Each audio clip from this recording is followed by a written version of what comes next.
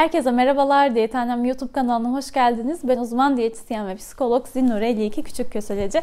Bu videoda sizlere yalnızca iki kurala dikkat ederek nasıl kilo verebiliriz konusundan bahsedeceğim. Kilo vermek biliyorum pek çoğumuz için bir sıkıntı, bir dert, bir karmaşa, bir problem. Hayatımızda belki de yıllardır çözemediğimiz bir sorun halinde bizi bekliyor.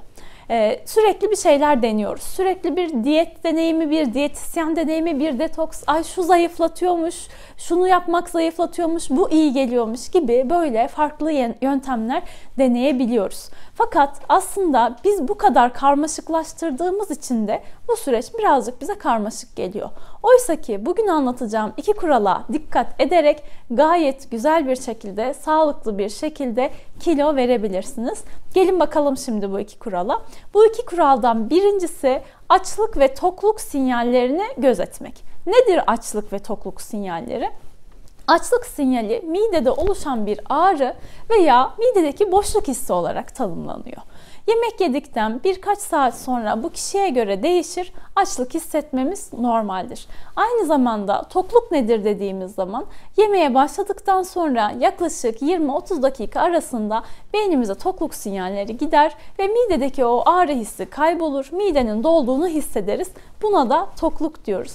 Bizler aslında dünyaya bu mekanizmayla geliyoruz. Açlık ve tokluk mekanizması. Bebekleri düşünelim. Acıktıklarında ağlarlar, annelerini emerler ve doyduklarında dururlar. Bizim aslında biz aslında bu mekanizmaya doğuştan sahibiz.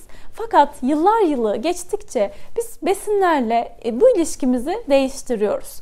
Bazen e, canımızın istediği bir besin oluyor. Bazı besinleri daha fazla sevebiliyoruz ya da çevremizin etkisiyle birazcık daha yiyeyim, bir lokma daha alayım diyerek e, aç olmasak bile yemek yemeye başlıyoruz.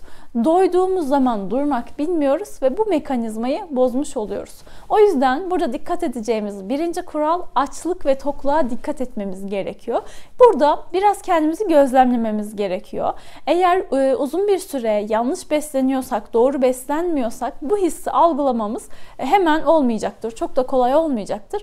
Fakat bir süre kendimizi gözlemledikten sonra açlık ve tokluk hissini ben ne zaman acıkıyorum, ne zaman doyuyorum, gerçekten aç mıyım sorularına gayet güzel bir şekilde cevap verebiliriz. O zaman ilk kuralı tekrar hatırlatıyorum. Acıktığımız zaman yemek yiyeceğiz. Eğer aç değilsek, kendimizi aç hissetmiyorsak kendimize şunu söyleyeceğiz. Şu anda aç değilim ama acıktığım zaman yemek yiyebilirim diyerek vücudumuza telkin verip acıkma zamanını bekleyeceğiz ve doyduğumuz anda da bırakacağız. Yani e, boşa gidecek, şöyle olacak, böyle olacak veya başka teoriler üretmeden doydum ben, vücudumun ihtiyacı bu kadar diyeceğiz ve bırakacağız orada. Bu ilk kuralımız. Gelelim ikinci kurala. Tamam açlık ve tokluk sinyallerine dikkat edelim. Açlık ve tokluk mekanizması da anladık.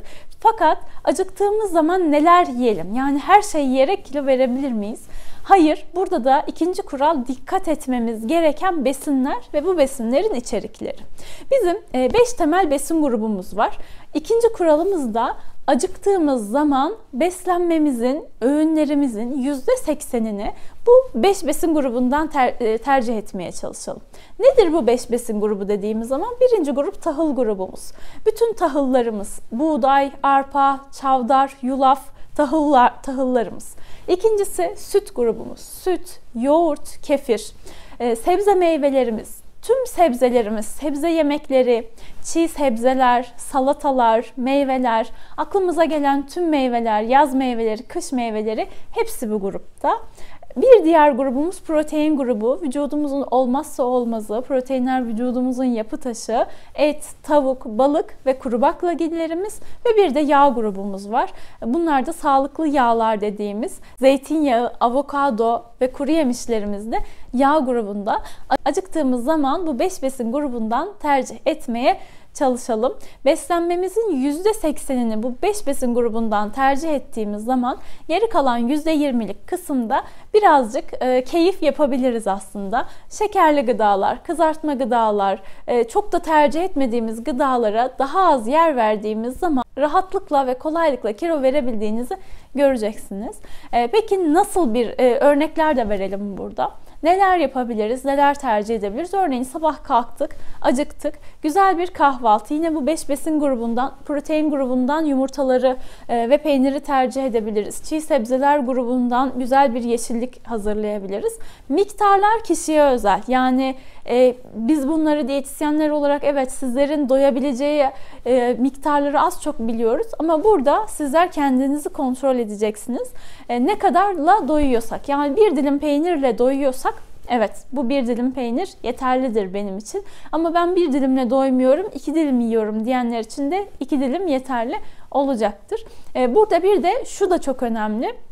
Açlık tokluğa dikkat edeceğiz dedik ee, ve 5 besin grubunu tercih edeceğiz dedik. Ama açlık ve tokluk mekanizmasına dikkat ederken e, uygulamamız gereken şeylerden bir tanesi de çok hızlı yemek yememek. Çünkü çok hızlı yemek yediğimiz zaman beynimize tokluk sinyalleri gitmiyor. E, bu yüzden öğünlerimizde 20 dakika kuralını uygulamaya çalışalım. 20 dakikadan önce yediğimiz yemeklerde çünkü tok olduğumuzu, doymuş olduğumuzu anlamıyoruz. Bu yüzden yemekleri 20 dakikada yemek açlık ve tokluğumuzu daha rahat, daha iyi hissetmemize yardımcı olacaktır. Yalnızca bu iki kurala dikkat ederek gayet güzel ve rahat bir şekilde kilo verebilirsiniz. Bu konuyla ilgili aklınıza takılan soruları yorum kısmına bırakabilirsiniz. Kanalıma abone değilseniz abone olmayı, videoyu beğendiyseniz beğenmeyi unutmayın. Haftaya yine aynı saatte görüşmek üzere. Hoşçakalın.